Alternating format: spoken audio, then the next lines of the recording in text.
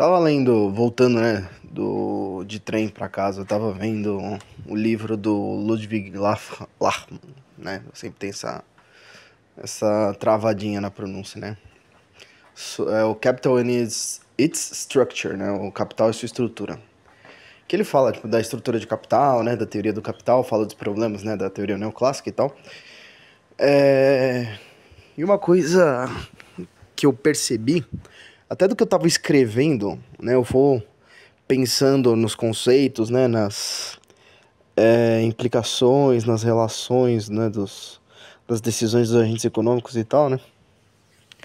E aí a gente vai tirando uns insights interessantes. Eu comecei a falar da teoria do capital partindo não apenas desses aspectos gerais de que ah, é, produzir é transformar e tal, não sei o quê, e comecei a elencar os elementos que são combinados né, no processo de produção, que é tanto os bens de capital, né, os bens intermediários, que eles são matéria-prima transformada, né, é, e o trabalho, lógico, né, esse trabalho heterogêneo, esse trabalho que está relacionado ao trabalho qualificado, né, que é justamente o trabalho técnico para é, manusear bens de capital. Né? Eu falei um pouco sobre tecnologia, dei uma passada bem rápida, né? bem passando mesmo, sobre é, a tecnologia rudimentar, meio que o Hoppe falava lá no é, Uma Breve História do Homem, mas mais focando né, nas revoluções tecnológicas, a mecânica do Arquimedes e tudo que ela contribuiu para a técnica que é utilizada na indústria até hoje, né, principalmente indústria de base, né, parafuso de Arquimedes, eu citei também, é, citei a alavanca né, do Arquimedes, até o princípio do empuxo que também é relacionado em bombas, né, é, enfim, eu passei justamente essas contribuições da mecânica do Arquimedes para é, para a indústria, né? Para basicamente que vieram a se tornar os bens de capital hoje em dia. E falando dessa mecânica que tem múltiplas aplicações em várias máquinas, né, e dispositivos desde os, das mecânicas mais primordiais até as máquinas eletrônicas propriamente, é, eu é, fui desenvolvendo né, os conceitos e como que as coisas se relacionam na estrutura de capital é, do ponto de vista causal.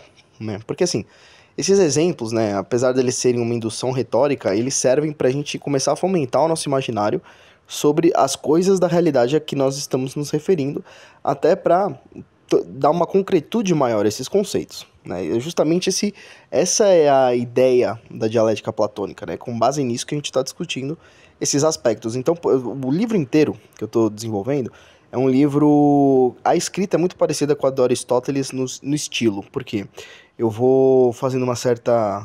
Um, forma resumida de história do pensamento econômico, né, que eu coloco essas teses é, dialéticas em oposição e faço uma análise delas para chegar a alguma conclusão, alguma delimitação melhor do objeto, mas nunca de forma sistemática, sempre de uma forma é, analítica e também dando os meus insights próprios com base no que eu estudei e que eu deliberei, né? O que, que eu investiguei, melhor dizendo, sobre esses assuntos, né? E o capital, uma coisa que eu notei, né, sobre a, a estrutura de capital, né, os bens de capital heterogêneos e tudo mais, especialmente nos bens intermediários, nos bens de capital ainda estou a desenvolver, né, o que, que vai ser, né, mas especialmente nos bens intermediários, existe um afunilamento de especificidades. Então, desde do, do da maneira que os bens se encontram na natureza, eles vão passar por uma série de transformações e elas vão se tornando cada vez mais específicas em suas propriedades, inclusive químicas, que vão é, ser específicas em relação ao fim último no mercado que elas vão ser aplicados, vão ser aplicadas, né? Essa, essas matérias-primas que vão sendo transformadas em bens intermediários por aí vai. Então, em vez de considerar tudo abstratamente, a gente tem que notar essa multiespecificidade do capital também como uma progressivo, um progressivo afunilamento de especificidade. Ou seja, vai ficando cada vez do mais geral, né, do mais natural bruto para o mais refinado e específico para a aplicação industrial, que aquele bem de que aquele bem intermediário vai ter. Em relação aos bens de capital, acredito que seja a mesma coisa, porque em complemento né, aos bens intermediários, para transformar os bens intermediários de uma maneira ainda mais específica, eles também têm que se especificar ainda mais. Né? E tem aquela, aquela questão também que os imóveis também eles compõem o capital porque eles são bens duráveis que vão é, servir né, à planta industrial e tudo mais. E uma coisa que é interessante que o Lachman fala, por exemplo, é que os, é, os prédios podem ser reaproveitados para outras finalidades, né? Quando a gente fala que capital é consumido com uma expansão, né, com uma expansão monetária, com um ciclo econômico, né, é, o Mises e o Hayek, eles, falam, eles focam muito na ideia de proporcionalidade, que eu acho questionável, né? Porque ela pode ser tanto é, desproporcional para mais quanto para menos e depende de uma série de fatores. E essa série de fatores é o que eu vou investigar ao longo disso daí, mas lógico, assim, quando você tem, por exemplo, um projeto desenvolvimentista que você tem é, contínuas expansões creditícias ou expansões de investimentos e gastos públicos, é, essas variáveis macroeconômicas elas vão gerar esses impactos né, sobre os preços relativos dos bens de capital de uma maneira muito repetida e, e massiva. Né? Então, isso vai é, gerar um consumo de capital, sim, né? que é, mas também vai gerar um grande desajuste dos preços relativos. Por isso que um dos grandes desafios do, do plano real justamente era é, reestabelecer a proporção natural dos preços relativos. E como que eu vou desenvolver isso, né, ao longo da, da escrita, né? Porque eu cheguei na mesma conclusão, que é o seguinte, quando você tem a taxa de juros natural, que é essas múltiplas razões, né, entre os, entre os é, bens de capital, né, essas múltiplas proporções, né, entre aplicações temporais diferentes dos bens de capital e tudo mais, é, os caras que vão receber, né, esse crédito novo ou esse investimento público, eles vão receber uma dotação monetária, né? Vão receber uma. vão aumentar né, o orçamento deles. E eles vão é, estabelecer proporções de bens de capital e trabalho humano relativas às expectativas deles de rentabilidade futura, que também vai determinar o nível de produção e propriamente a combinação de capital e trabalho, né, de bens de capital e trabalho que ele vai empregar nessa produção. Então, o aumento das demandas, assim como no lado do efeito Cantillon da moeda, né, que os receptores da moeda nova vão aumentar as demandas proporcionalmente à moeda que eles recebem, igualmente acontece com a demanda por bens de capital e trabalho, né.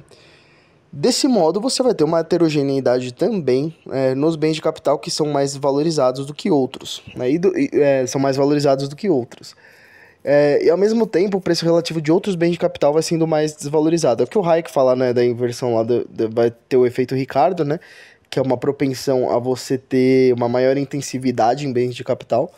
É, mas ao mesmo tempo, os bens de capital mais específicos e próximos do consumo final, eles tendem a ser menos é, demandados à medida em que os processos ficam mais longos, né, já que você tem uma capacidade de demandar mais bens de capital, ficando mais próximo da indústria extrativa, né? E também do ramo imobiliário, que também é de longo prazo, né? Muitas vezes a gente vê essa incidência no ramo imobiliário. Então, veja, a gente tem essa questão, né? Principalmente é, das indústrias de base e tudo mais. E a gente tem também uma... Você vai começar a bagunçar os preços relativos, especialmente da estrutura da cadeia de produção né? E ao bagunçar esses preços relativos, você percebe que assim o repasse dos custos, lógico que tudo isso depende né, de elasticidade de oferta e demanda, mas o repasse dos custos né, para os consumidores e tudo mais, ele tem um delay temporal e, as, e os preços das coisas vezes começam, a proporção de preços e prioridades de produção, ela começa a ser bagunçada. Né? Então, assim, o cálculo econômico começa a ser bagunçado, principalmente quando você favorece né, é, os amigos do rei, que naturalmente é o que vai acontecer quando você tem esses investimentos públicos, né? A ciência política também é bem clara nesse assunto, de que você não tem o critério mais da, da competência e da ordenação aos fins nos mercados, mas propriamente ao favorecimento político, log rolling, troca de interesses e por aí vai. Que é uma, uma coisa que talvez eu aborde também no livro quando eu falar do setor público, né? Mas você vê a bagunça que é formada no mercado, né? E essa bagunça dos preços relativos, tanto na cadeia de produção quanto propriamente no mercado final, justamente também pelo aumento da demanda dos consumidores, que primeiro vão receber essa moeda nova, é, você percebe que todos os preços da economia, essas, essas razões, essas proporções, essas prioridades de produção que são estabelecidas das relações comerciais, elas ficam bagunçadas e, naturalmente, quem vai receber o dinheiro primeiro vão ser as classes mais ricas, né, os maiores volumes monetários, e também propriamente os industriais, que também vão ser a classe que vai ter mais é, poder de consumo é, derivada desse aumento de crédito, desse aumento é, artificial, esse boom, né, basicamente monetário. E os mais pobres, eles naturalmente vão ser os últimos a receberem porque eles estão no fim da cadeia, não só porque eles estão nos consumos dos bens mais básicos, é, mas também porque eles recebem uma quantidade menor de dinheiro e naturalmente eles vão receber o dinheiro mais desvalorizado, tá certo? Então assim é uma redistribuição de renda, só que pro, do pobre para o rico, né? O rico tem seu poder de compra reduzido, né, que naturalmente já é baixo, e o rico ele vai ficando mais rico à medida em que ele vai ganhando esses recursos reais da sociedade é, com base no poder de compra aumentado dele, né? Pela maior dotação monetária ainda não desvalorizada, né? Enfim, é uma... Tudo isso já se sabia na teoria austríaca, mas isso que eu estou falando dessa questão da complexidade dos bens de capital, né? Da multiplicidade dos bens de capital, ela vai ter algumas implicações. Então, primeiro passo, né? Essa ideia de que você pode reaproveitar é, imóveis para outro, outros investimentos né? Isso não muda o fato de que você consome valor, capital como valor. É, mas ainda assim você consegue realocar, né? você não destrói completamente os recursos físicos. Mas você superutiliza e, e isso também vai dar, uma, vai dar um desgaste físico mais, é, mais adiantado. É, e por outro lado, você tem um contrabalanceamento também, né? Na substituição de alguns bens que eles passam a ser menos demandados também, relativamente com o aumento da demanda por outros bens de capital e por outros bens de consumo. É, então, nesse cabo de guerra, alguns bens vão ser menos demandados e podem até reduzir de preço. Só que, naturalmente, no processo de reajuste, né, posteriormente, é, essas distorções elas tendem em algum grau, elas se amenizam, mas Quanto, mais, quanto maior o impacto, maior vai ser a dificuldade de você reestruturar os preços relativos depois.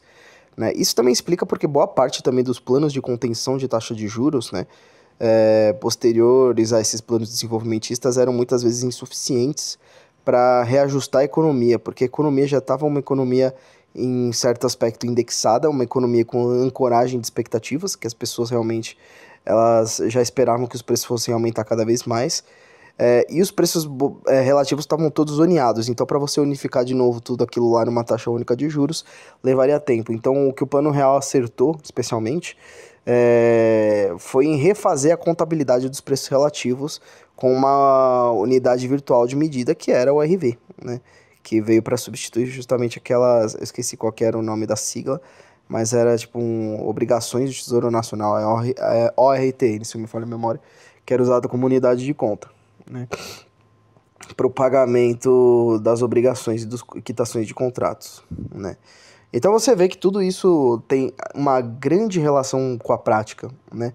A teoria dos ciclos econômicos e a teoria do consumo capital que eu derivei, né, da teoria dos ciclos econômicos, que deu origem à minha crítica à desindustrialização como causada pelo desenvolvimentismo. Mas não obstante, você percebe que existe ainda assim uma. Devido a essa heterogeneidade desses bens de capital, existe ainda assim outras implicações que a gente pode tirar disso, né?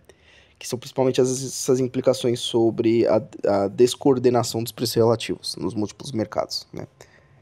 Enfim, ainda tenho que ler Capital in Disequilibrium do Peter Lewin, que ele vai falar também do capital em desequilíbrio natural, né? Porque querendo ou não, a TASSE ela vai mostrar como o governo ele vai sistematicamente intervir nesses mercados, mas também é, tirando de um equilíbrio, mas também esse equilíbrio a gente não pode partir do pressuposto que ele já foi atingido. E por outro lado, tem essa questão, né, da essa questão do, do, do equilibração, né, nos mercados, nos mercados até mesmo dos bens de capital, que a gente tem que olhar com um pouco de mais cuidado, porque assim, o que a gente pode tirar de lição disso daí é que, como a moeda é o sangue da economia, vão ocorrer erros em massa quando você falsifica o cálculo econômico. Mas quando você faz, é, por exemplo, o empreendedor schumpeteriano, a ideia do Bylund de quebrar né, a especialização com inovações disruptivas no mercado, você vai ter um nível de necessidade de reajuste do mercado, mas esse nível vai ser muito inferior a uma distorção sistêmica nos preços relativos que ocorre, por exemplo, no caso de uma expansão é, dos meios de pagamento, né? Não dos meios de pagamento apenas, mas também do, da, da oferta monetária. Né? Então, são coisas que ainda estou para pesquisar ao longo da minha produção literária. Mas nesse primeiro livro, né, eu vou só delinear esses aspectos. Porque eu estou começando a ter uma visão um pouco mais concreta da estrutura de capital, vou ver o que os outros austríacos pensam desse sentido, é, mas eu acredito que talvez eu consiga fazer algumas diferenciações que, pelo menos com o conhecimento que eu tinha até então da teoria, eu não era capaz de fazer. Não sei se eu vou inovar, não sei se eu estou redescobrindo a América, não sei se eu vou fazer alguma grande contribuição, mas é, esses são os insights que eu tive até então essa noite. Junto com outras coisas aqui de filosofia da mente também, mas essas coisas são fazem parte de, outro, de outra parte do livro, né? Mas enfim, é isso.